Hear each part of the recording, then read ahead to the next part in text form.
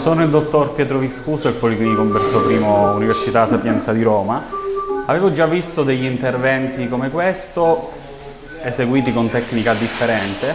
Questa devo dire è molto interessante sia in termini di praticità che di rapidità e spero anch'io di poter eh, rivedere nuovamente eseguire questa tecnica e la consiglierò eventualmente anche nella sede da cui provengo. Rispetto al penoscrotale, secondo me rappresenta una tecnica più, più, pratica, soprattutto da un punto di vista estetico per il paziente giovane e, e anche in termini di ripresa, di ripresa diciamo, post-operatoria, in quanto si, vede, si può vedere che ci sia una ripresa in termini di, di come dire, attivazione della protesi più rapida rispetto all'accesso penoscrotale. No?